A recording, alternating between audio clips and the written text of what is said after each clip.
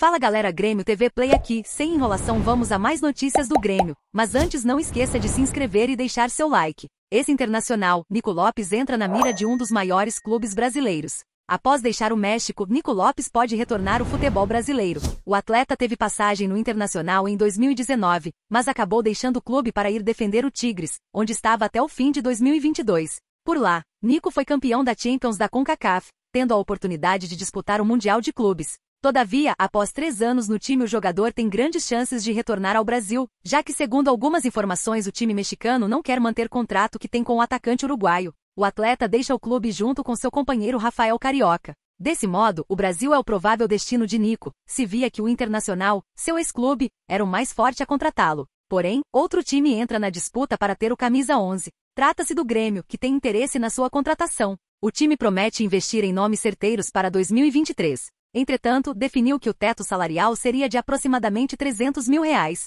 Conforme o jornalista, o Imortal fez uma consulta formal por Lopes, mas os valores assustaram. Isso porque Nico tem contrato com o Tigres até o fim de 2023, sendo necessário adquirir em definitivo, mas o preço não é nada baixo. Além disso, seu alto salário e luvas não entram no definido pela direção do clube. Com isso, outro time que entra na briga é o River Plate, que já demonstrou interesse passado e está disposto a fazer o investimento. E você torcedor tricolor gaúcho, o que acha da contratação de Nico Lopes no Grêmio? Deixe sua opinião nos comentários.